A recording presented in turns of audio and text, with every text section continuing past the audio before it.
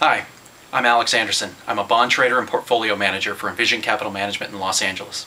Today, I'll be giving you the latest fixed income portfolio pointers. These are helpful pointers that you do-it-yourself bond investors can use at home to make your bond investments more successful.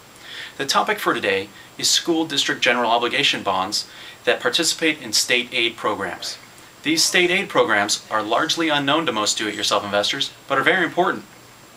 These state aid programs also known as intercept programs, are a pledge at the state level to cover the bond payments in the event of school district encounters financial trouble. So, if the issuer can't make bond payments, uh, the aid program kicks in and the state makes a payment. In a nutshell, it's an extra safety net for the investors that own these bonds. Because of this extra layer of protection, these bonds are great for those seeking income with capital preservation. Not all states have these programs. In fact, some states have stringent criteria that the school districts need to abide by in order to qualify. But many states do participate. Texas, Ohio, Arkansas, Georgia, New York, California, New Jersey are just some of the many. These programs also go by many different names. For example, Texas has the Permanent School Fund, Minnesota has the School District Credit Program, and Kentucky has the SEEK program. At the conclusion of this broadcast, I'll have a list of many of the state aid programs so you can see uh, if your home state has one.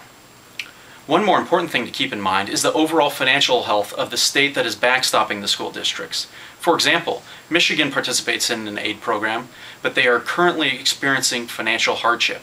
Therefore, relying on them as a backstop for your bonds might not be such a good idea. To find out whether a specific bond issue has an intercept program, you need to access the official statement.